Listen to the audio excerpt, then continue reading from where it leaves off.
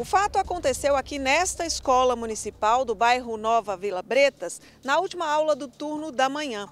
De acordo com o boletim de ocorrência da Polícia Militar, o aluno de 13 anos estaria jogando bolinhas de papel em sala de aula, o que incomodou a professora que chamou a atenção dele.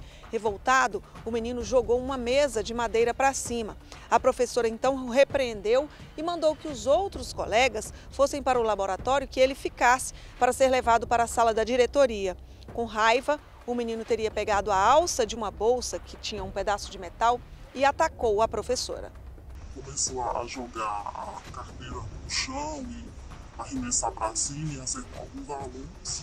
Eu pedi a ele que parasse né, e me acompanhasse até a sala da direção.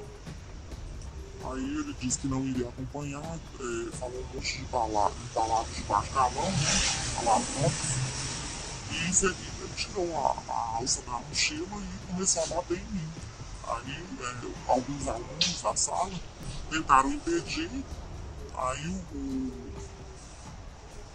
o professor de apoio já veio e tirou ele da sala e a gente chamou a polícia. Essa então encaminhou né, a diretora ao, à sala da pedagogia para que fosse então o menino assistido naquela situação. Lá, novamente, ele passou por meio de palavras de baixo calão, né, a hostilizar tanto a diretora quanto a professora que ali estavam assistindo ele naquela situação e então resolverem acionar a polícia militar. Diante dos fatos narrados, constatamos, além da conduta indisciplinar, que é a cargo de cada educandário a atuar, a polícia militar constatou o ato infracional de agressão física. Além da polícia, a família do adolescente também foi chamada na escola.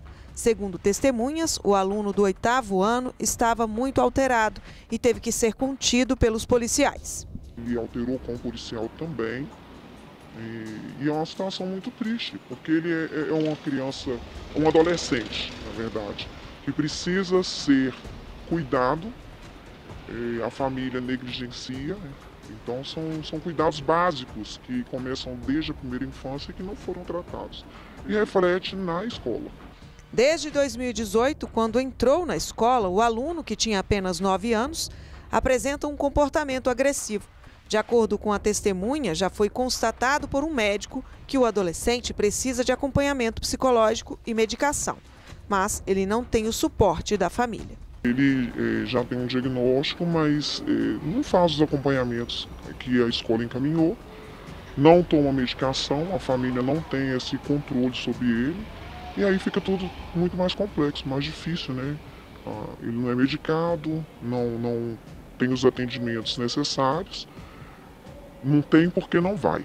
Ele é infrequente nesses atendimentos, já foi encaminhado para todos desde 2018. Ele já, já foi encaminhado para ser acolhido né, CRAED, já foi acolhido pelo CAPSI, já foi encaminhado para um psiquiatra, então a escola faz a, a parte dela, né? mas infelizmente esbarra na questão social da família. Desestrutura familiar compromete essa, essa situação.